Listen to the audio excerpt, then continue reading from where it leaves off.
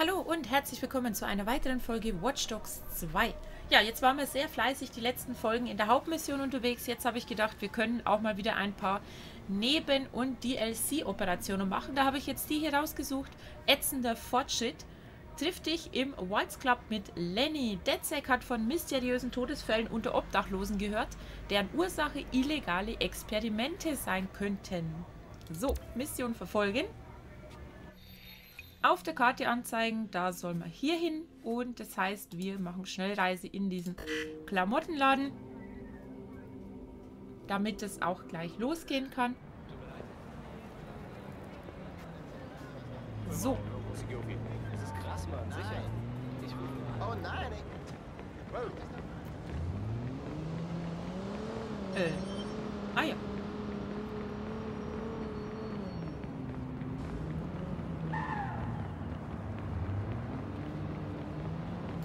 Was machen die denn da?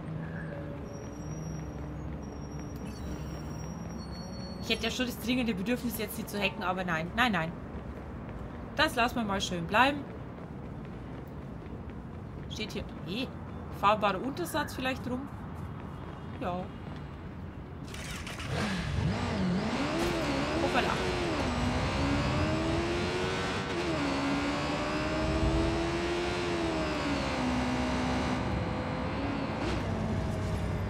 So, wie kommen wir denn jetzt da runter?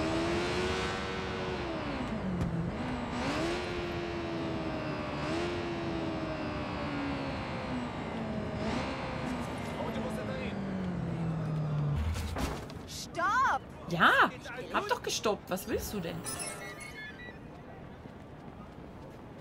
Also diese Leute hier. Oh, Souvenirs. Gibt's ja irgendwo Softeis? Ne, das sieht zu gesund aus. Käseplatte.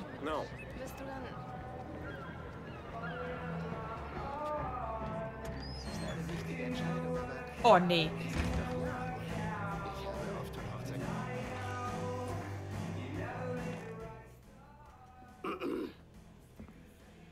Captain Buttfuck hat beschlossen zu erscheinen. Was denn, ohne den Rest von Team Shitstorm?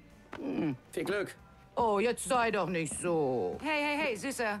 Bringen Sie meinem Freund hier einen Drink? Nur ein Wassermann. Nein, Bier. Zwei Bier. Oh, der steht ganz oben auf meiner Wixliste. Weil er einen Arsch hat wie ein Mädchen. Da kriege ich weiche Knie. Ich meine, guck mal, guck mal. Bap, bap, bap, bap, bap.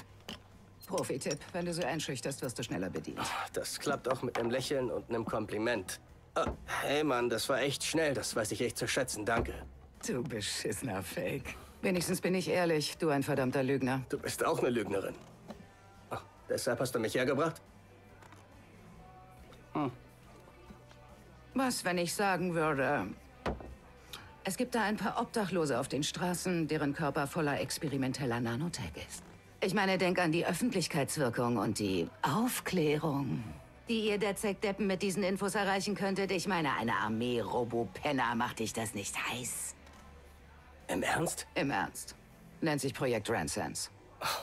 Woher weißt du davon? Die ersten Freiwilligen waren aus meiner Crew. Hm, deine Crew. Erste Regel des Arschlochclubs lautet, ihr verliert kein Wort über den Arschlochclub. Ha, ha, ha, ha. Eins musst du über Biohacker wissen, klar? Wir möchten Pioniere sein, also gehen wir Risiken ein. Und Ransens? Wir hatten eine Menge kranke Biohacker und nichts Cooles vorzuweisen, also haben wir es gelassen. Und ich soll glauben, dass Ransens stattdessen angefangen hat, Obdachlose zu entführen? In etwa. Du glaubst nicht, was ein Penner macht, um in eine mobile Klinik zu kommen. Hm, scheiße, Mann, du verarscht mich doch.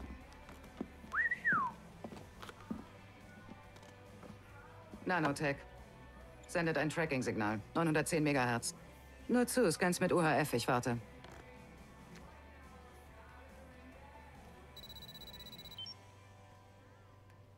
Okay, na und? Deine kleine Ampulle sendet. Es war echt spaßig, Lenny, aber ich kauf dir das alles nicht ab. Oh, das machst du wohl. Ruf mich nicht nochmal an. Du bist doch total sensationsgeil. Du kannst nicht widerstehen. Hey, Marcus! Willkommen im Arschlochclub. Sehr sympathisch. Und nun? Also doch. Ich glaube, ich muss Lennys Info zu den toten Obdachlosen überprüfen. Es schadet nicht, es zu checken. In der Bay Area gibt es ein großes Interesse an Nanotech. Viele halten das für den nächsten großen Schritt der Evolution in puncto Körpermodifikation. Jede Menge Biotech-Unternehmen experimentieren damit herum. Klingt, als hättest du ein bisschen Ahnung von dem Kram. Ich will Flügel. Kann ich Flügel haben? Könnt ihr euch mich mit Flügeln vorstellen? Nimm auf Flügel. Das wäre sowas von abgefahren. Das ist theoretisch möglich, in nächster Zukunft aber unwahrscheinlich. Ich höre immer nur bla bla bla. Ja, du kannst Flügel haben, Ranch. Hör auf, Josh zu ärgern. Komm schon. Würdest du keine Flügel wollen? Doch. Flügel? Nein. Doch. Weißt du, was das für ein Stress wäre mit Flügellöchern in der Kleidung? Nein, ich hätte lieber Nanotech-Tattoos. Die können ihr Muster verändern. Das wäre echt cool. Das wäre ziemlich cool. Das ist doch viel wahrscheinlicher. Die Technologie dafür könnte sogar schon existieren. Rock on! Passende DedSec Nanotech Tattoos. Geil, ich nehme beides.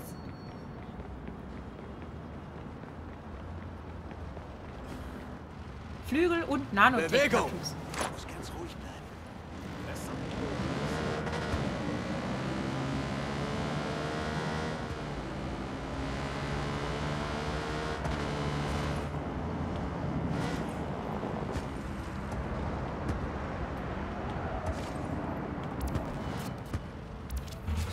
Ich bin jetzt im Lager der obdachlosen Leute. Zeit, etwas zu graben. Ja, wir haben auch etwas gegraben. Was Gutes dabei? Nein, aber jede Menge Übles. Überdurchschnittliche Sterberate unter der obdachlosen Bevölkerung. Ein deutlicher Peak. Oh, das ist definitiv übel.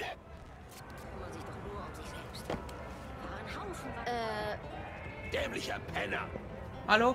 Hey, Kumpel, bei dir alles okay? Ja, ja, ich, ähm, ich kann nur nicht mal richtig sehen, weißt du? Soll ich dich in die Notaufnahme bringen oder so? Nein, der Doc macht's nur noch schlimmer. Bevor ich beim Arzt war, ging's mir gut. Warst du bei der kostenlosen Klinik? Soll das heißen, dass es dir hinterher schlechter ging? Ja, die Schwester meinte, nach dem Impfen könnte ich mich krank fühlen. Kann schon sein. Shit, ich gehe da nicht wieder hin, nach dem, was mit Marty und Josephine passiert ist. Äh, Marty und Josephine? Joe ist tot, Marty so gut wie ich. Äh, weißt du, wo ich Marty finden kann? Der liegt auf einer Couch in der Nähe, hat sich seit gestern kein Stück bewegt. Ach, eine arme Sau. Kopf hoch, Mann.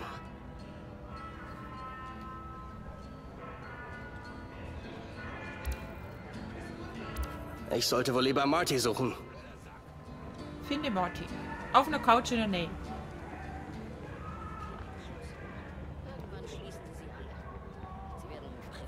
Hier. Die Couch? Hey, Verlaufen? nein, äh, ich suche nur die mobile Klinik. Meine Freundin arbeitet da und wir sind zum Essen verabredet. Deine Freundin arbeitet in der Todesklinik? Zur Todesklinik? Wow, nein, sie meinte, sie hat sich freiwillig zur Grippeimpfung gemeldet. Grippeimpfung. Ja klar. Jeder, der da reingeht, verschwindet. Tot oder fort. Hey, kennst du jemanden, dem das passiert ist? Netter Versuch. Von mir erfährst du gar nichts. Okay, aber kennst du jemanden, der bereit wäre, darüber zu reden? Huh? Sprich mit dem toten Kerl auf der Couch. Dem toten Kerl? Der ist so gut wie tot. Martin. Wenn das nicht schon ist. Martin. Martin. Oder so ähnlich. Hey, wie kann ich ihn finden? Du hast doch Augen, oder? Das hat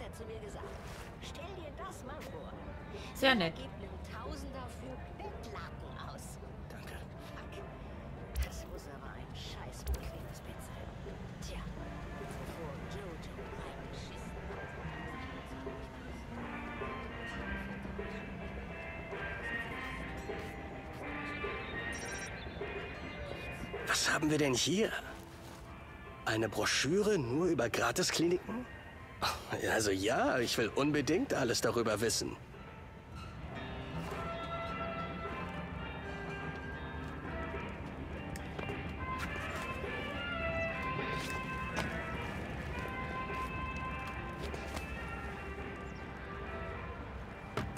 Marty? Ach du Scheiße, Mann. Hey, hey, brauchst du Hilfe? Oh. Schon gut. Mir geht's gut. Oh je. Alles gut. Ich soll nächste Woche noch mal zu ihm. Der Arzt in der mobilen Klinik? Ja. Brauchst du was, Kleiner? Also, ich wollte eigentlich mehr über die Klinik herausfinden. Was für Spritzen sie den Leuten geben. Keine Ahnung. Spritzen halt. Aber ich habe gesehen, wie einer der Docs dieses Injektionsding äh, weggeworfen hat. Ist in einer gelben Mülltonne. Irgendwo hier. Das könnte wichtig sein. Danke, Mann. Na klar. Na klar. Impfpistole. Ich suche eine Impfpistole in einer gelben Mülltonne. Okay.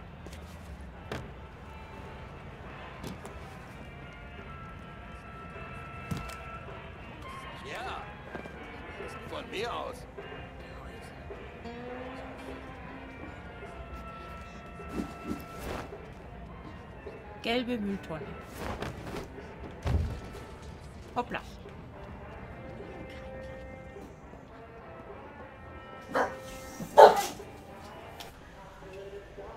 So, und es geht auch schon wieder weiter. Entschuldigt diese kurze Unterbrechung. Und nein, bevor jetzt wieder gemunkelt wird, ich habe nichts rausgeschnitten. Mein Aufnahmeprogramm hat nämlich einen Pausenknopf. So.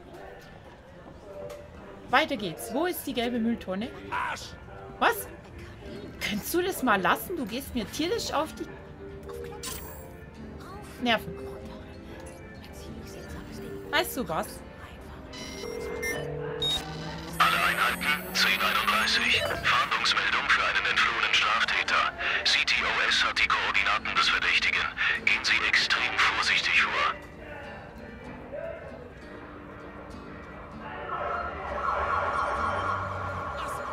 Da ist er. Officers, verhaften Hey, Sie den Mann. Keine Bewegung. Ja, der da. Bloß heißt nicht unmenschlich, du fauler Mann, Wichser. solange du in der Öffentlichkeit bist, kann ich dich aufnehmen. Das kann ja sogar ich besser. Obdachlose? Was Das hast du jetzt kann davon. gegen Sie verwendet werden. Oh Gott, oh Gott, oh Gott. Foto. Tschüss. Schönen Tag noch. Die kümmern sich doch nur um sich selbst.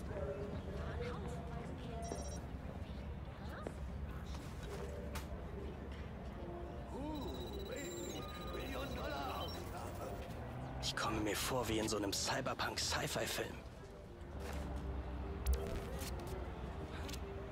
Hey, Josh, hab eine Impfpistole gefunden. Der Typ hat mir gesagt, das Ding haben sie in der Klinik benutzt. Hervorragend. Ich schicke euch jetzt die Daten. Damit aktualisiere ich die Scanner-App, die Lenny dir gezeigt hat. Dann müsstest du nach mehr Nanotech scannen können. Das wäre sehr hilfreich. Ja. Es sieht aus, als würden sie senden. Du müsstest mit deinem Handy aufspüren können, wo Leute mit Nanotech gewesen sind. Je näher du kommst, desto stärker wird das Signal. Aha. Ihr werdet es auch hier rausschaffen, oder?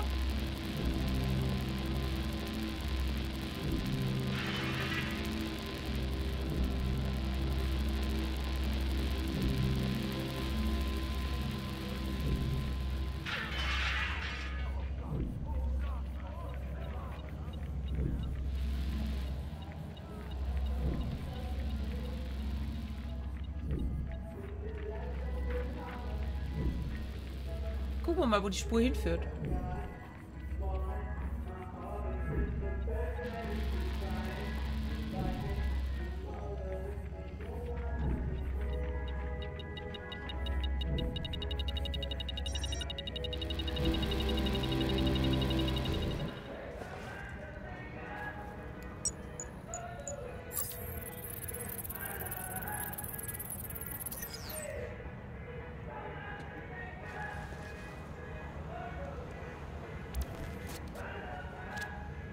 Josh, Ja? unser Freund Marty? Abgesehen davon, dass er ohnmächtig ist und der Nanotech-Scan positiv, hat er eine Injektionswunde am Handgelenk. Wetten, dass sie ihm Nanotech direkt ins Blut injiziert haben? Würde mich nicht wundern. Ich schätze mich auch nicht. So, nächste Spur.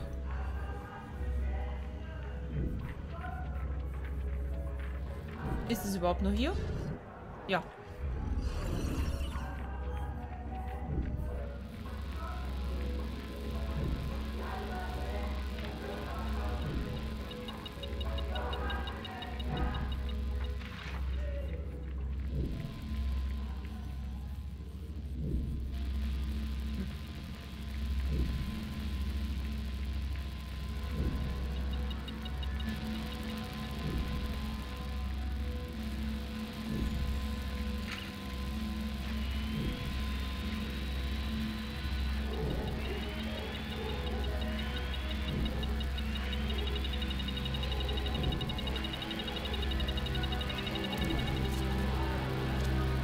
Sieht aus, als würde einer der Ärzte der Klinik bald seine Tasche vermissen. Was Nützliches drin? Kamm, Kaugummi, Clipperkarte und offizieller Klinikausweis. Mit Strichcode.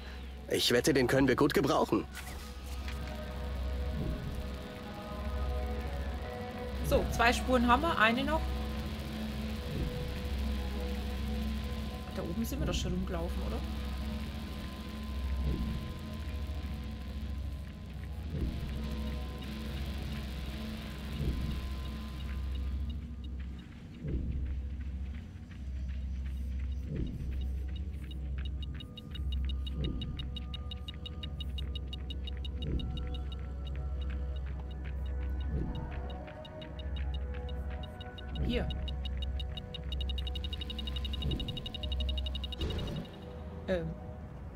Hallo?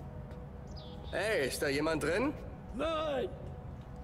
Du hast dich irgendwie selbst verraten, Mann. Dachte, wenn ich Nein sage, kapierst du vielleicht, dass ich nicht Okay, reden okay. will.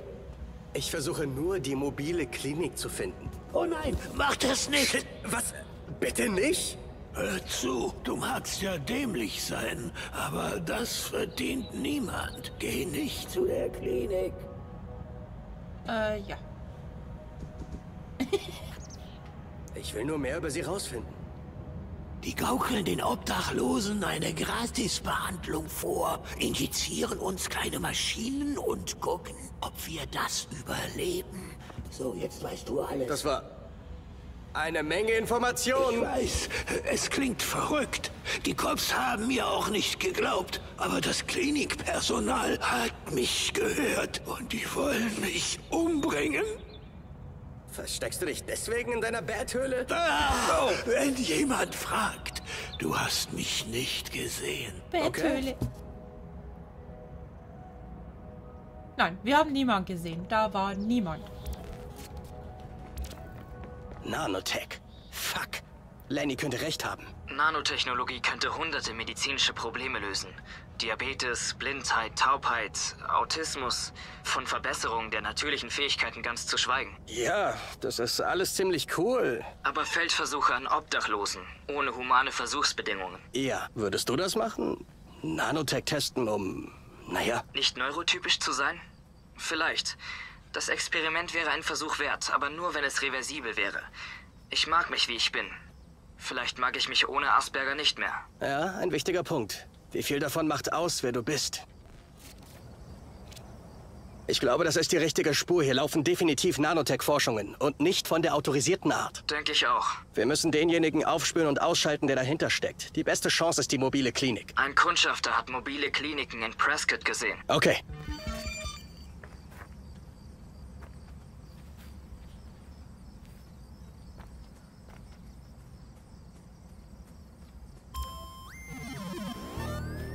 Trifft den Detzerkundschafter am Wasserturm. Ja gut, ähm... Klingt zwar alles ganz cool, auch mit den Flügeln und Tattoos, aber... Äh, nein. Weil zum einen hat Josh recht, wahrscheinlich ist alles, was da gemacht wird, irreversibel und zum anderen pfuscht man einfach Mutter Natur nicht ins Handwerk. So, ich glaube, das ist... Wo ist denn das? Wo ist es? Und wo sind wir? Okay, das ist sehr weit weg. Ähm, wie kommen wir denn da hin? Da kommen wir hin. So. Gut, dann würde ich aber sagen, wie es weitergeht, gucken wir uns in der nächsten Folge an. Für diese komme ich zum Ende. Ich bedanke mich fürs Zuschauen, hoffe, es hat Spaß gemacht und freue mich natürlich, wenn ihr dann auch beim nächsten Mal wieder mit dabei seid.